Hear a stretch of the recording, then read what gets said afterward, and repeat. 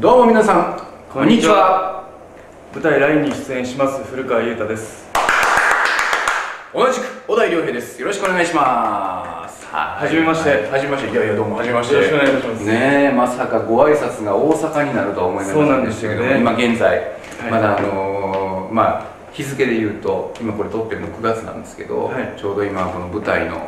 まあ、パンフレットの撮影に、まあ、大阪に来ちゃった。とありがとうございます。ねえ。本番中なんですよね。今大阪公演中そうですね、はい。だから大阪に来てるんですよ。僕はついでに観光に来たんですけど僕もこの後すぐに帰って仕事しなきゃいけないんです。今回はあのこのために来ていただいて。そうそうそうそうそう本当にありがとうございます。いやいやいやもうそれはねもうやっぱり主演の方に早く僕もお会いしたいということでね。いやっぱり大阪僕出身なのであそうなんですねやっぱホームグラウンドなのでねここに来るとだからやっぱり関西弁も流暢にわーっと出るっていうだから喋りが達者なんですね。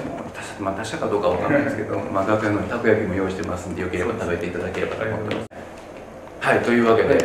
まあ、この作品に対する意気込みみたいなものがあれば教えてほしいんですけど。そうですね、うん。僕もさっきあの読みやすくてすぐに読み終えてしまったんですけど、はいはい。とても面白い内容で、まあ、主人公2人の、えーが軸となって物語が進んでいってその関係性をしっかり描いて、えー素晴らしい作品にできたらなとう思ってます。はい。ねまあ、僕の方もですね、はい。まあ、その主人公2人を後ろからうまくこう支えて、まあ実際多分役柄の中では支えるというよりはまあまあまあまあいろいろとね僕なんでそうですね、まあ、追っかけ回すことになると思うんですけども、うんはい。まあ、追っかけ回していきたいと思いますので、逃げ切ります、そうですね、まあ、あの稽古場でもですねストーカーのように追っかけ回したい覚悟しておいてください。よろしくお願いします、まあ、というわけで12月の5日から9日まで、えー新宿のシアターサンモールで、えー舞台「ラインやっておりますので皆さんよければですねぜひクリスマスの前に劇場の方に足を運んでください。以上小田井亮平と古川裕太でした。ありありがとうございました。がとうございました